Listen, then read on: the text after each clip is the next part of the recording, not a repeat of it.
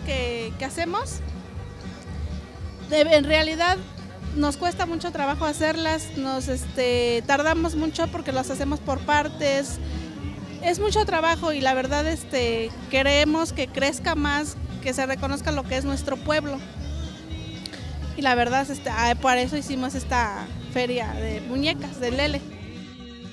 Como parte del compromiso en el rescate y difusión de la muñeca tradicional otomí Arlelé, se inauguró la primera feria de la muñeca otomí ñoño. Arlelé es de quien la hace, en la explanada del Monumento a la Revolución. Nosotros los habitantes de la antigua Ciudad de México, las hermanas y los hermanos ñoñú, otomíes, son parte sustantiva de nuestro quehacer. Son aquellas personas que tienen endiosado su corazón, como me enseñó el maestro León Portilla, que tienen la toltequidad que les permite expresar, recrear y revitalizar la muñeca a través de cada una de las piezas que van elaborando. No lo olviden nunca. La muñeca tiene que seguir saliendo de aquí, no de una máquina. Tiene que salir eh, seguir saliendo de las manos y tiene que seguir saliendo también de las manos de las mujeres, pero también de los hombres. Porque tenemos que entender que el corazón endiosado no tiene género.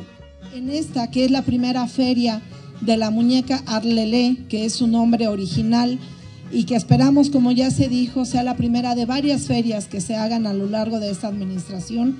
Estamos ahora contando con 120 personas artesanas que estarán exponiendo sus artesanías en esta, em, en esta plaza de la Revolución. Larisa Ortiz Quintero, secretaria de Pueblos y Barrios Originarios y Comunidades Indígenas Residentes, declaró que en el marco de esta feria, los visitantes encontrarán una diversidad de muñecas y muñecos con especificidades.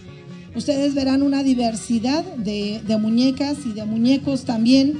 Van a encontrar, acabo de darme el tour aquí, y bueno, muñecas para la ocasión de boda, para las que están eh, diseñadas para Día de Muertos, está el muñeco también en todas sus presentaciones, está la muñeca en todos los colores de cabello, ¿no? Hasta azul, rosa, de colores, está la muñeca morena y la muñeca negra, que también nos parece que es muy importante que se visualice.